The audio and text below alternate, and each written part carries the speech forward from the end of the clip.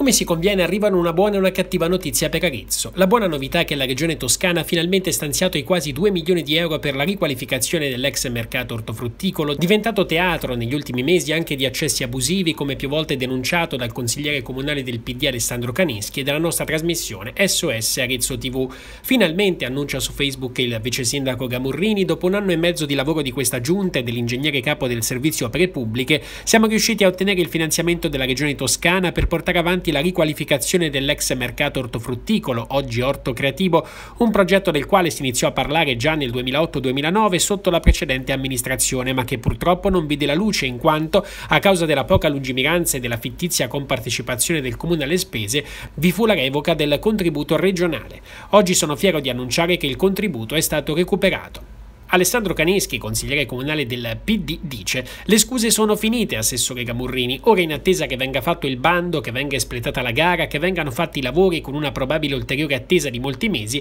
ha intenzione di impedire l'utilizzo improprio dei locali dell'ex mercato ortofrutticolo di via Pisacane, chiudendo tutti gli accessi, ha intenzione assessore Lucia Tanti di prendere in carico con i servizi sociali del comune le persone, bambini compresi, che vivono in quei locali che risultano pericolosi e non idonei anche dal punto di vista igienico-sanitario, vi interessa la sicurezza e la tranquillità dei cittadini che abitano nella zona, perché nel frattempo, secondo Canischi, è iniziato un giro strano, spacciatori e clienti utilizzano l'area appunto ancora come mercato.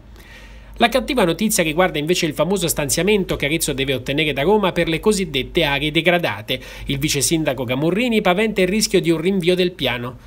Il vice sindaco Gamurrini paventa il rischio di un rinvio del piano triennale. Purtroppo, dopo tre o quattro annunci da parte di esponenti politici nazionali, non è arrivato nulla, non ho ricevuto il minimo supporto da parte di alcuno. Probabilmente saremo costretti a far slittare il piano triennale e questo causerà non pochi problemi, ma da parte di questa amministrazione c'è tutta l'intenzione di portare a compimento quanto previsto.